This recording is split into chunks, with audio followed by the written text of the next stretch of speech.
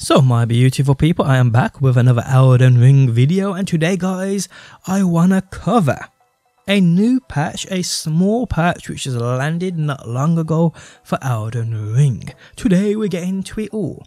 How's it going guys? My name's DPJ and if you do enjoy the video, leaving a like really helps out. And if you like what you see, and want to see more, be sure to subscribe. Okay, so this is the patch of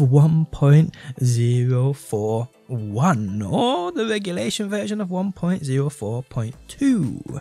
Now, this just changes a few or fixes a few issues we may have experienced. Well, I know many people have experienced since the latest patch, uh, the 1.04. So let's just get into it guys. Now this is obviously for all platforms too. Major changes included in the latest update.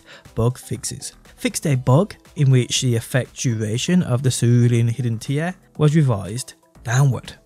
Fixed a bug with Malenia in which her HP was not healed correctly in the online multiplayer environment fixed a bug that caused some bosses to die at unintended times, fixed a bug that prevented the boss Elden Beast from working properly under certain circumstances, and fixed some texts. Now, the actual bug issues uh, with the bosses I covered about about a week ago now.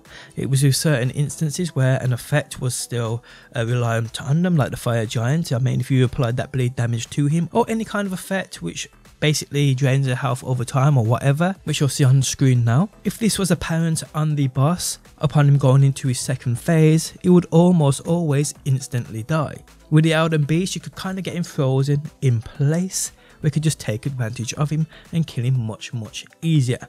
The Malenia one I didn't hear about, but hey, it's definitely an issue here and they're dropping a fix for it. But yeah guys, a short but sweet video, update 1.04 0.1 or 0.2.